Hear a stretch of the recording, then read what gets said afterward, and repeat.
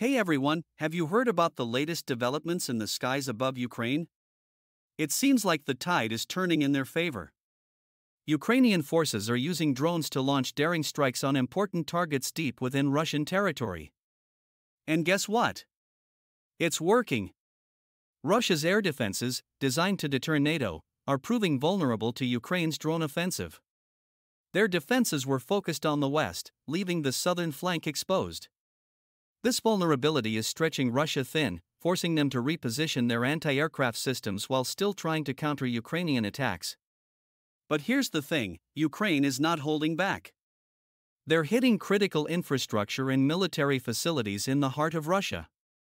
It's a relentless race between both sides to develop faster and more potent drones. Ukraine's success shows their resourcefulness and adaptability, while also exposing a strategic misstep by Russia.